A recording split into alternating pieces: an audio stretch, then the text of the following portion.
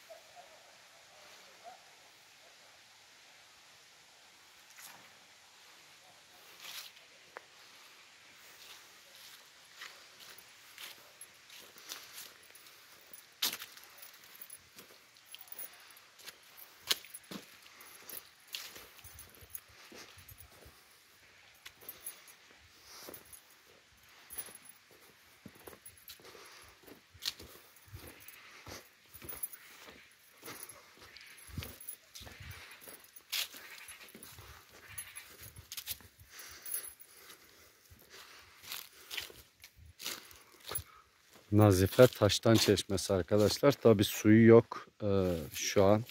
Önceden akıyordu. Dere yatağını yapan arkadaşlar borusunu kırdı. Yapmadan gittiler.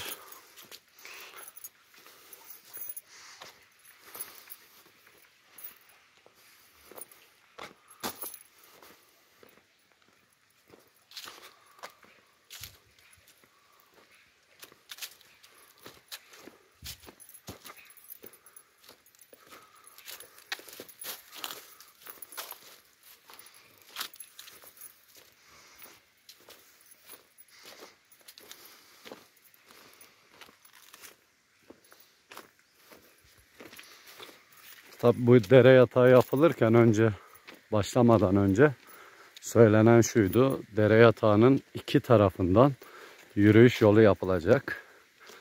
Ee, araç geçebilecek şekilde bir, bir tarafından bu yürüdüğüm kısımdan araç geçileceği söylendi. Ona göre yapılacağı söylendi. Ki betonu beton değil gördüğünüz gibi sulama olmadığı için topraktan hiçbir farkı yok. Elinizle bile parçalayabiliyorsunuz. Şöyle. Bu beton. Sözde beton. Sonrasında bu şekil yarım yamalak kaldı.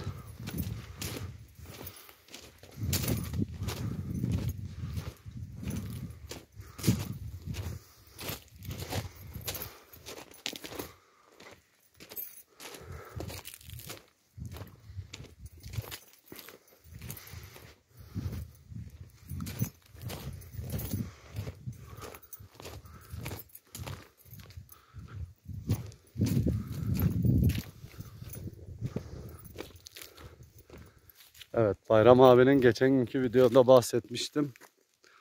Arsasındaki deprem evi de burada. Tabi betonu dökülmüş sadece.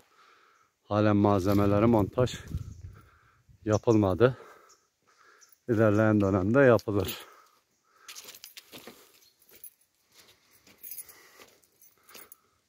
Yani buraya gelen mimarlar mı diyorlar ne mühendis işte her neyse bu duvarlara olumlu olarak olmuş diye bunlara şey verdi arkadaşlar. İyi olmuş diye. Tabi beton yapıldığında bunu hiç bilmeyen kişi bile beton yapıldığında onun sulanması gerektiğini bilirken burayı devlet su işleri e, ihaleyle yaptırdı ve Gördüğünüz gibi sözde beton.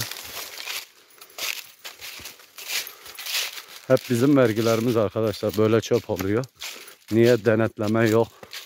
Rüşvet çok, adamcılık çok. Var da var yani. Maalesef.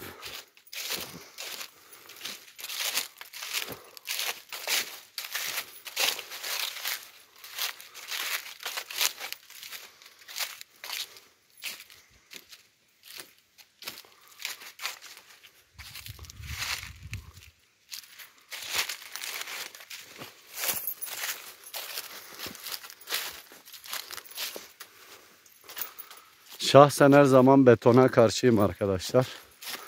Şurada farkı göstereyim size. Bakın. Şu kısım ne kadar güzelken, doğalken sonrasında şu kısım beton yığınına çevrilmiş durumda. Ve hiçbir faydası yok bu yapının bizim köye. Çünkü burada sel çıkmıyor fazla. Sel çıksa zaten bu beton olmayan duvarları da yıkıp götürür. Hep zarar, hep zarar. Ay ay Allah hidayet versin ne diyelim. Bugün burada çalışmıştım arkadaşlar. Ağaç kestik. Malzemelerimi almaya geldim şu an. Gördüğünüz gibi ağaçlar orada. Şu yukarı kısımdan kestim. Eskiden arkadaşlar böyle tarlaların hemen hemen hepsinde garban diyoruz buna. Garban yapılıyordu çünkü eskiden insanlar tarlasını beklerken yağmura e, karşı ve gündüz otururken gölge olması için eskiler her işi çok iyi biliyormuş ve çok da iyi çalışıyorlarmış. Fakat şimdiki herkes genel olarak kolaylık peşinde. Her şeyin kolayına kaçıyor.